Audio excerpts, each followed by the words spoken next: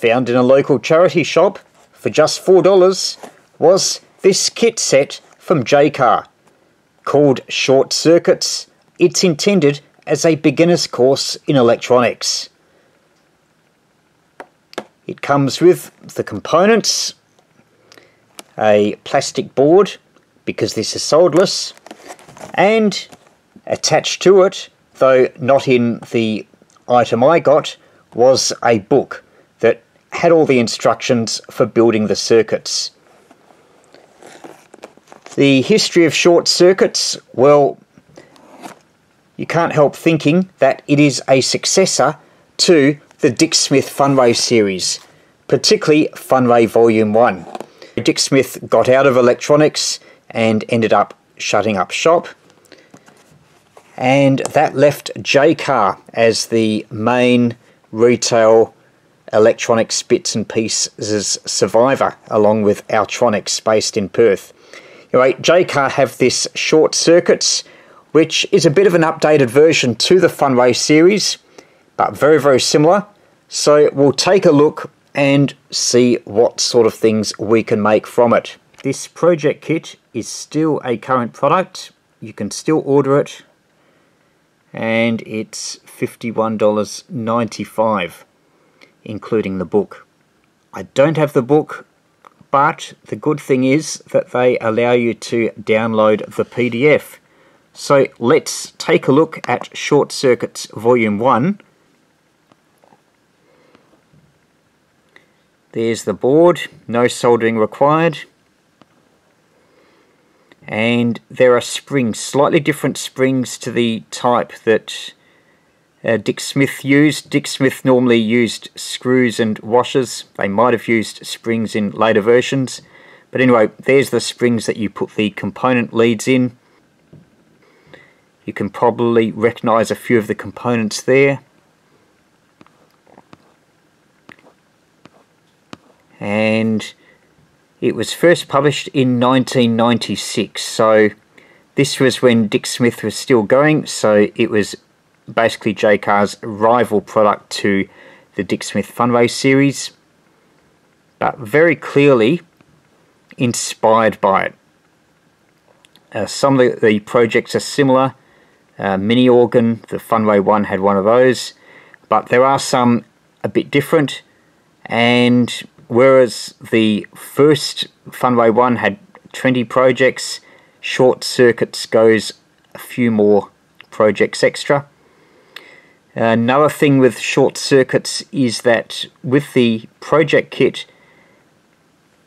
everything is in the one package, whereas with Dick Smith you had kits for projects 1 to 10 and then 11 to 20.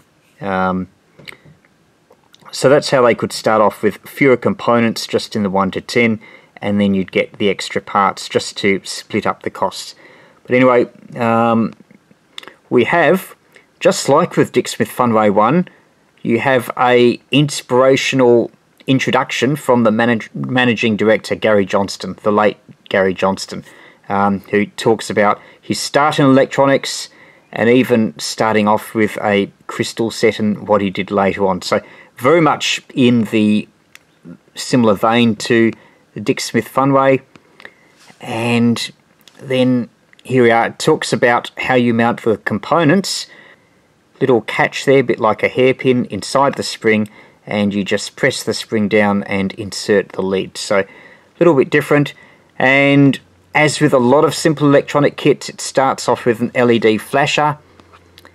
Um, now it looks incredibly simple for a LED flasher, and that is because it uses a flashing LED. I'm not sure if they were available when uh, Dick Smith Funway 1 kits came out. There you had to build a LED flasher that used transistors, resistors, capacitors, whereas here it's all self-contained in the flashing LED. These cartoons might be familiar to readers of Silicon Chip, done by the noted cartoonist B.J. Akhurst. Uh, no longer with us, but he did heaps and heaps of cartoons. You might have seen them in the uh, service section of Silicon Chip and various other parts of the magazine. Also used um, to decorate this book as well. Um, other projects, won't go through them all. Continuity tester, that was also in the Funway book. A little bit different. Um, the Dick Smith Funway one was just a LED in series with battery resistor and probes. This one has a transistor, so it's possibly a bit more sensitive. And like with the Funway books, a little box telling you how it all worked. A light alarm, that was very similar, uh, also in Funway 1. A magic candle is a variation of that. LED flasher, that's the type that uses ordinary non-flashing LEDs, but the benefit there is you can change the component values and alter the flashing rate. Um, in the, this case, the LEDs also flash alternately, so that could be very useful for model railway type circuits.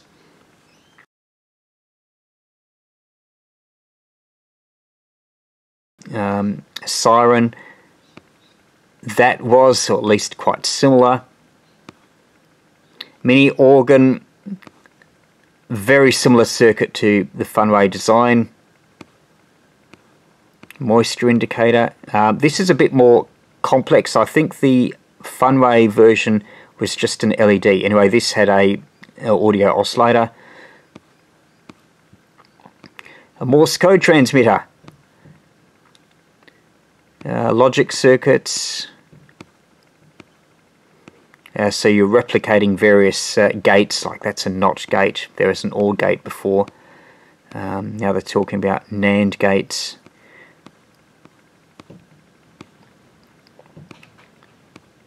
And if we keep going we're only up to project 13 so we'll go a bit faster.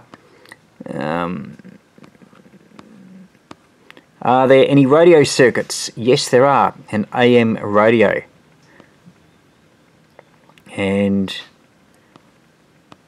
this uses the MK484 so it's very similar to the ZN414 that um, Dick Smith kit used.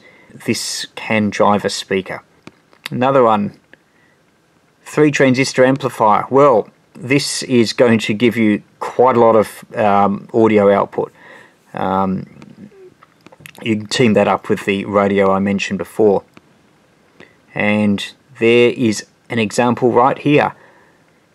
Um, it's actually a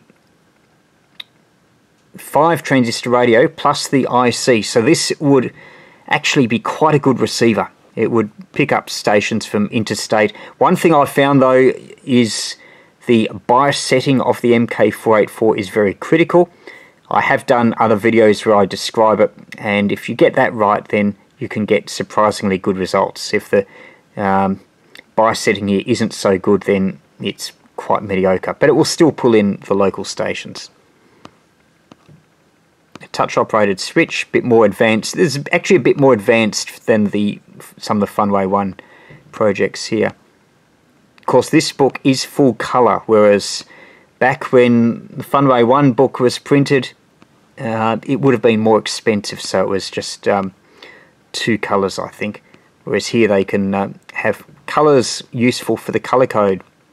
Right, this has what all the parts do and they also have in the book, um, and this would have been one of the inducements to buy the book, and the Funway did this as well. They had cutouts that you could put over your board and make it easier to align the components with the correct polarities and positions.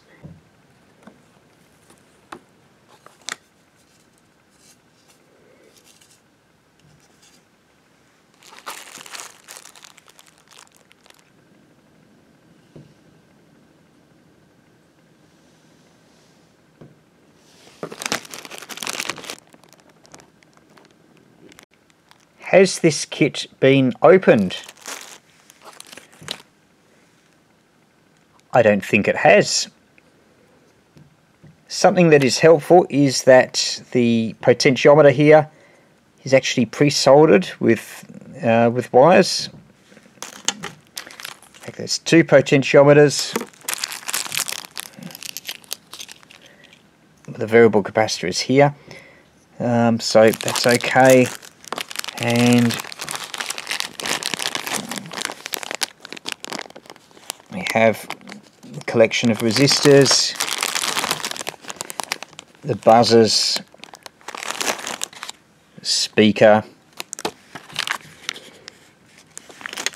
and what do we have here for the uh, documentation?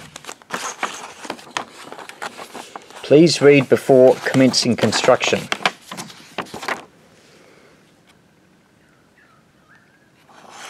Okay, that's the guarantee. Oh, this is uh, just a little um, leaflet saying what the short circuit kits are all about. Um,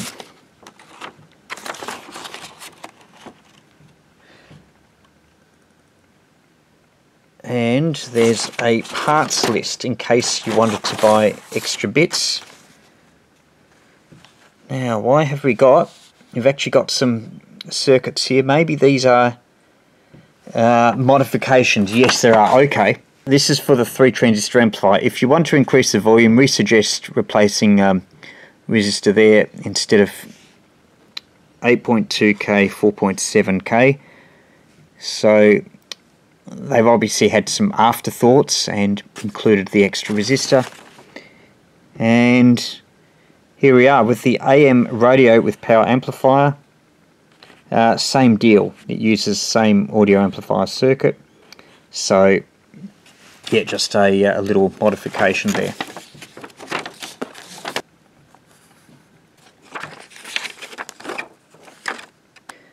You might think I'm going to build one or more of these projects and show you how it worked.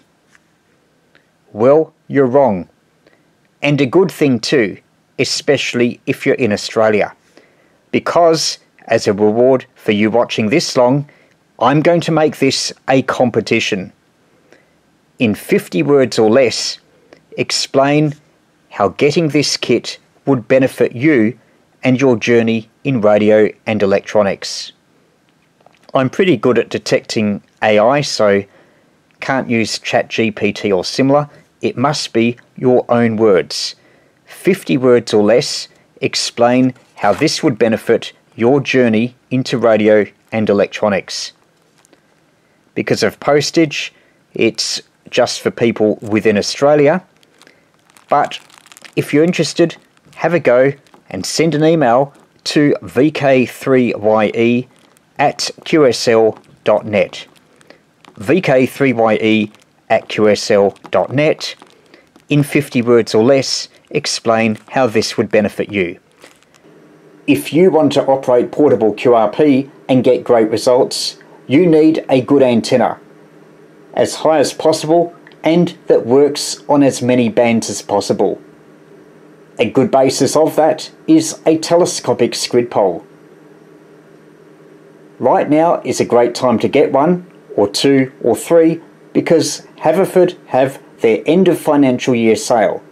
10% off, plus if you put in VK3YE as the discount code, another 10%. Offer available for customers within Australia. Just visit the Haverford website and search squid poles to browse the range.